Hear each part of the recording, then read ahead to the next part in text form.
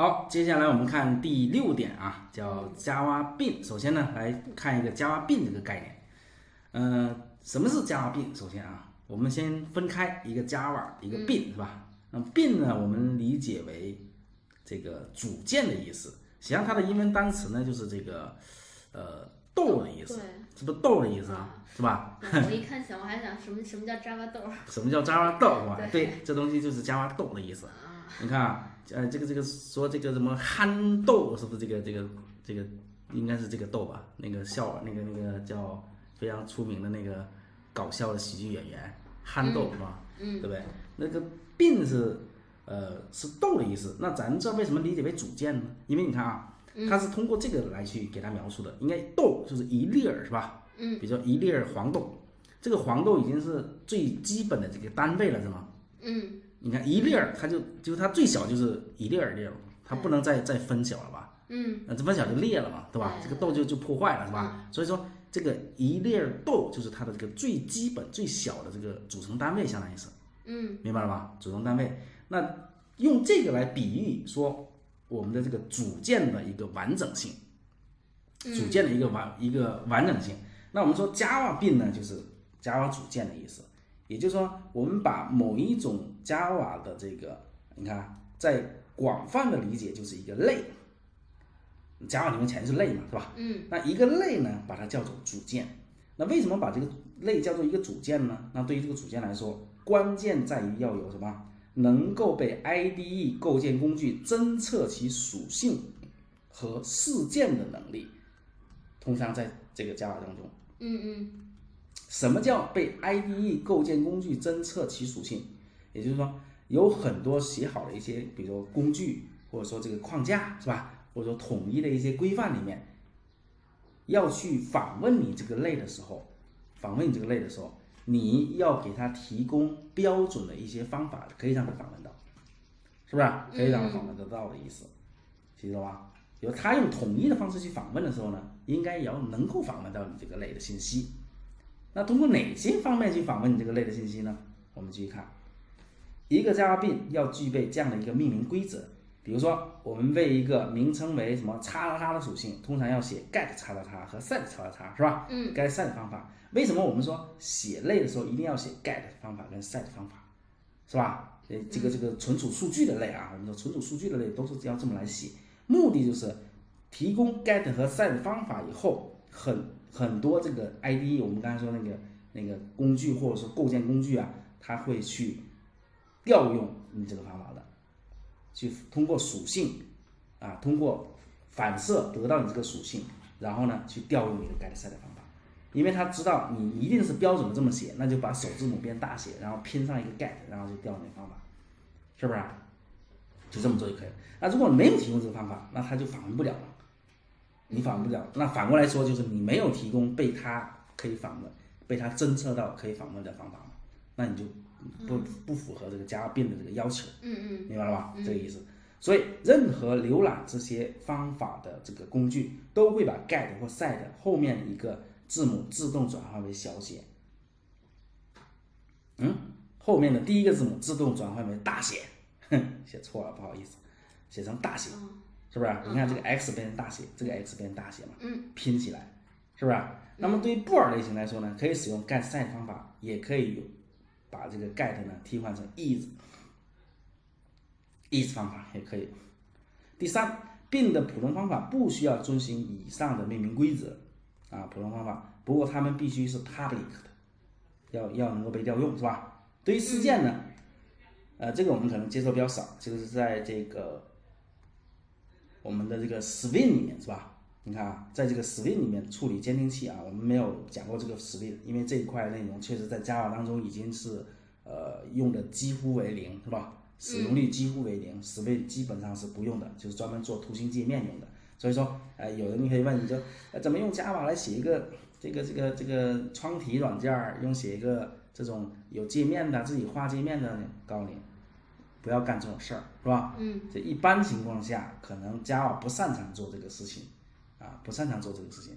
他擅长做的是，比如说这个，我们说两个方向，一个安卓的开发，一个就是你这要不就 Java EE 的开发，对吧？当然安卓开发更多，是吧？嗯，Swing 的开发呢，非常非常少。OK，自己玩一玩还行，好吧？就是说你符合这些规则，那么你这个类就可以叫做 Java bin。实际上呢，我们通常写的这个带 getSet 的一些实体方法，比如说刚才我们写上节课写的这个 cat，那就是一个 Java bin，你就可以理解为就是一个 Java bin，是不是？嗯嗯明白了吗？所以呢，它是有一定的含义，有一定意义，嗯有一定意义的，用来存储数据的这样一些信信息类都可以叫 Java bin，好吧？嗯，这是我们第一个要掌握的一个概念。好，再往下看，基于这个 Java bin 这个概念上，我们来讲解一下内省。内省啊，你看我贴个图，是吧？这这是向老婆认错，是吧？嗯 向老婆认错啊，老婆对不起，就是你办了什么什么什么什么一件事情，然后现在经常我们会教育小孩子会这样教育，是吧？你给我好好反省反省，是不是啊？这事儿为什么这么做，是吧？面壁思过，对不对？对着墙壁啊，自己认真思考，是不是对了？是不是做错了？那你就是，那这什么意思呢？这就是让他回想，是吧？嗯，让他自己回想他这件事情哪个地方做的做的不对，对，是吧？就是自己通过自己里面在在思考，再想一想的意思。那内省就是这个意思，就自我反省嘛，就是自我反省，对吧？那么这个内省呢，是 Java 语言中我们说对并类的这个属性事件的一种叫缺省的处理方法。处理方法，例如类 A 中有属性 name，那我们通过可以通过 get name 和 set name 来得到其值，或者呢设置新的值，是吧？那么通过 get set name 来访问 name 属性，这就是什么默认的规则，是不是？默认的规则，我们经常访问名字跟设置名字是不是调用这两个方法呀？大家都会用这两个方法，不会用，基本上没有用其他方法，是吧？当然了，除了过来方法，直接传插的方式啊，我们说是这样的。OK，好，那我们这边的这个类型是什么意思呢？你看啊，Java 中提供了一套 API 用来访问某个属性的 get set 方法。通过这些 API 可以使你不需要了解这个规则，不需要了解规则，就是说你不用直接去访问它的 get 跟 set 方法啊 get 方法，因为在这个 API 包里面提供了一个叫 bin 这个这个包里面呢，一般的做法是通过叫做 in introspector 是吧？introspector 啊就是反射的意思啊的里面的一个 get bin info 方法来获取某个对象的 bin info 信息，就是这个 bin 我们刚才说的那个加豆是吧？加类的那个信息，然后通过 bin info 就可以来获取它的描描述器，叫属性描述器啊，叫 property description descriptor。通过这个属性描述器，可以获取某个属性对应的 get 和 set 然后我们可以通过反射机制来调用这些方法。这个一套东西呢，呃，通常呢是在这个框架里面来去实现的，底层实现。我们基本上自己写代码的话，可能不会这么去写，明白了吗？我们说什么是框架一些东西，就别人封装好、写好了一些东西啊，写好，那可能你现在还理解不了啊，这个框这个框架的这个概念是吧？嗯，呃，未来你在学习这个什么 Struts、Hibernate、这 Spring 这些东西的时候，一定是有好处的。或者安卓它底层的框架，是吧？为什么你可以调用别的东西实现功能？那它那个东西怎么来呢？它那个东西就是相当于你调用的底层的 API，嗯，是不是？它写好东西给你调用。那未来你在这个你比如说你以后你上班了，你的公司里面需要这个开发一套系统，是吧？哎，你技术比较牛逼，是吧？那你作为这个这个呃这个项目里面的这个核心骨干人员，是吧？那你有可能呢，你就可以接收到底层代码的编写，是吧？底层功能封装，也就是你封装了很多 API，然后让那些比较初级的程序员去调用你的东西。嗯，知道吧？你写好封装好给他用，比如说你咔写了很多写文件的话，对他就一句话，他就调你一个方法就可以得到一个什么什么东西。其实你后面干了好多好多事情，明白了吗？这就是写 API 级别的程序员跟这个写这种上层的这个程序员的一个最大的区别嘛，明白了吗？区别。OK，那通常情况下，这些内型这个技术就是为了这个写底层的东西用的，明白了吗？写底层的东西用的，就是为了让它调用者或者说让它扩展性啊，这个呃这个更加强啊，更加强大，好吧？OK，、所以说呢，我们学习这个这些内省跟反射呢，呃，有助于我们未来去研究别人的这个底层代码的时候，你可能能够看懂，啊，你可能能看懂，知道它里面为什么这么写，好吧？嗯，OK，这是啊，又啰啰啰嗦了，扯到那边去了啊，回来这里拉回来，呃，那通过这一套路我们去设置的话，怎么去设置呢？怎么进行设置？我们来看一下它相关的 API。第一个 introspector 啊，这个类，我们说这个类呢，通过啊这个，我们说 Java 并支持属性事件方法，提供一个标准的这个这个这个操作啊。嗯，我们来看，我们顺便举一个例子是吧？举一个例子啊，这边 内省是吧？那假设说我有一个为了方便啊，写一个这个小小的一个呃呃设置的一个小框架吧，好吧？嗯写一个小框架。假如说呢，为了方便我们设置这个值，为了方便我们设置这个值，设置这个这个用户啊，我们写一个用户类，好吧？user，这是一个用户，用户呢，它有这个用户的什么名字是吗？跟用户的这个，比如说它的这个呃等级，可以吗？或者说它的这个钱钱数啊，或者它的这个、呃这个用户的类型，呃，或者说它的这个游游戏玩，比如我们说这个游戏角色里面这个用户的这个呃金币数，可以吗？啊，金币数就呃我们用什么来写啊？比如说一个 int 类型对吧？我们就写成这个总数了啊，嗯嗯，一个一个一个一个总数，叫做一个数量 number，一个 number，这个 number 呢就是我们写的这个啊钱的那个数量了，好吧？我就简单这么写，然后里面呢我们再定义一个，你就可能要为它写标准的什么？这个标准的这个，哎呦，我这边在点到了什么呀？点到了这个啊，呃，缩放了是吧？好，在显示间全屏。OK。Ctrl Shift S，哎，Ctrl 呃 Shift Alt S 啊，Get Set 方法，Get Set 方法，好，写好了以后，这边呢，我们再来一个呃构造方法，默认构造方法，是吧？嗯，然后呢，兔子运是吧？好，这写好了，写好了。那么现在呢，我希望能够用配置的方式，每个用户刚创建的时候呢，我都给他一个默认的这个行为，是吧？嗯，默认的行为，那你只能写代码是吗？那为了方便修改呢，我们可能会给用户提供很多这样的配置文件，还记得吗？提供配置文件，我把那配置信息写在这里面。你看，你之前写的话呢，就是就是这边呃用户的一个使用类啊，嗯，叫 user test。User test，如果你要去使用的话，现在你不是 new 一个 u user 对象吗？是不是这么写？你这么来写的话，不就是你这个我们说你在使用用户的时候呢，就耦合了嘛，嗯，是吧？耦合了。那我不想耦合怎么办呢？我们前面给大家讲过，有工厂设计模式，是不是？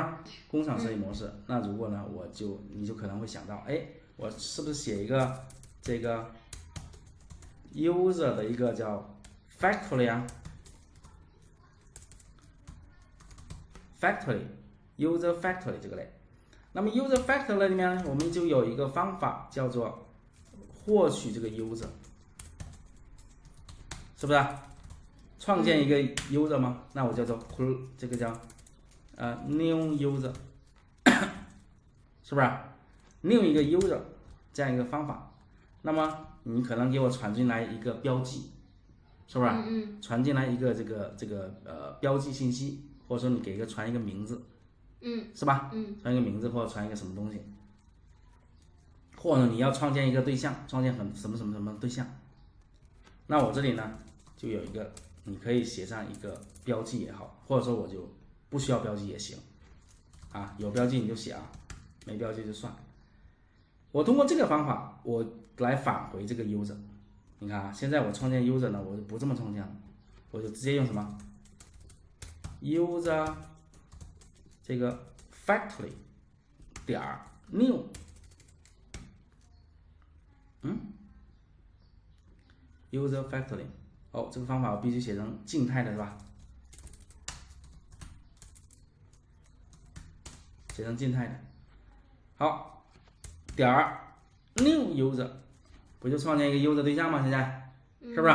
那完了以后，在这边呢，我我要怎么来写呢？那我这个名字我是可以随意配置的，你不能在这写死是吗？也就是我要创建出这个 user 来，我需要需要这个设置一些值进去。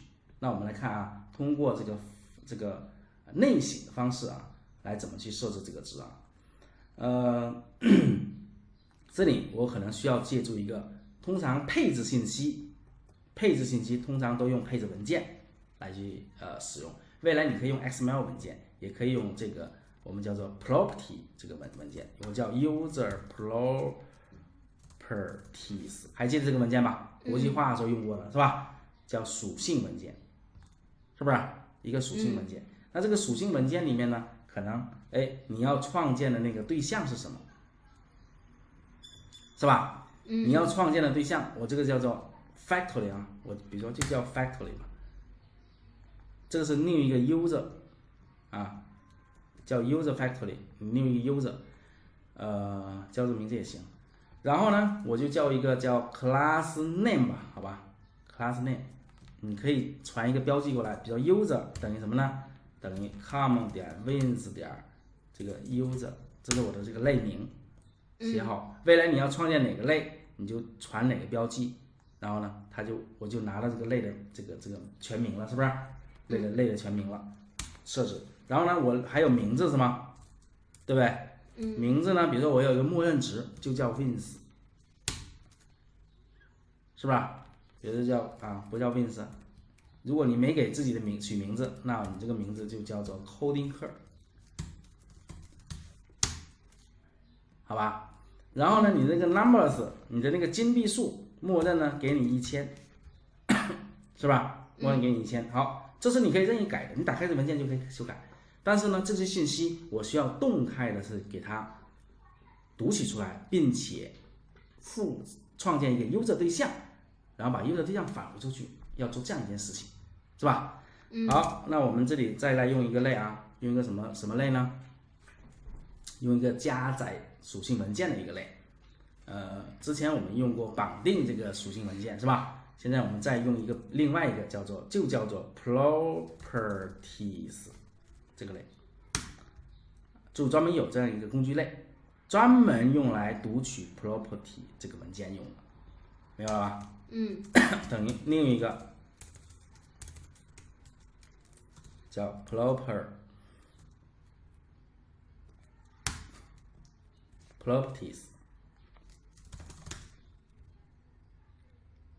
properties，OK，叫 prop，OK，是这样来做。然后我在这边呢，呃，我也可以用它来进行一个创建，是吧？直接创建加载啊，加载这个类信息。那我就写一个 static 静态块，可以吧？对。写个静态块，我这个呢也写成静态的吧。就直接定义成静态的了，好吧？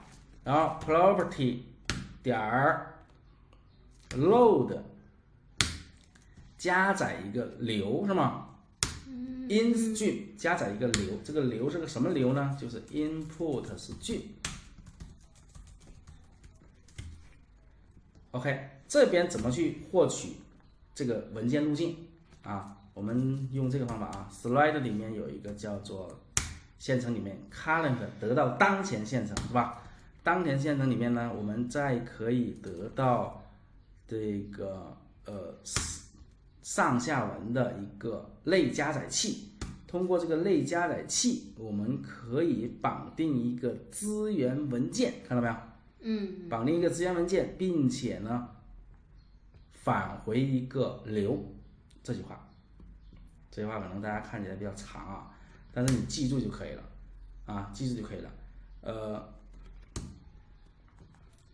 这里怎么写呢？这里必须这么写，come 我们这个写这个文件的名字啊，写这个文件的名字，你不能打点儿啊，必须得写上这个杠，表示文件夹，wins 下边的哪个文件？user 点 properties 这么写，这是你这个文件所在的位置，只在这个文件夹、这个文件夹、这个文件夹下面，是吧？那为什么这么写呢？这个是 slide current slide 表示获取当前线程，是吧？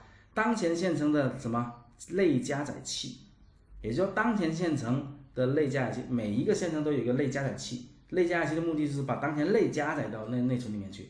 那既然这个类加载器能够加载我们的这个类信息，它也能加载当前文件下的其他文件，嗯，知道吧？其他文件也能加载。所以说呢，我就利用这个类加载器来去加载我们一个什么资源文件，明白了吧？哎，加载一个资源文件，就给它给加载进来了，啊，加载进来了。好，踹一下，加载进来以后，现在我这个 property 就可以用了，OK，它就可以用了。呃，就可以用的话，我怎么去获取呢？你就可以通过 property 这个 p r o p 这个方法的 get。Property 方法就可以得到我们这个文件里面的这些属性了，明白了吧？得到文件这些属性了。好，这是静态块里面这个内容，这里是加载配置文件，加载配置文件这一个步骤是吧？嗯。OK，那我们看一下 new 里面怎么来写呢？我们刚才用到了 insert。叫什么？呃，呃，我看一下这个类啊，类的名字叫做呃，introspector 是吧？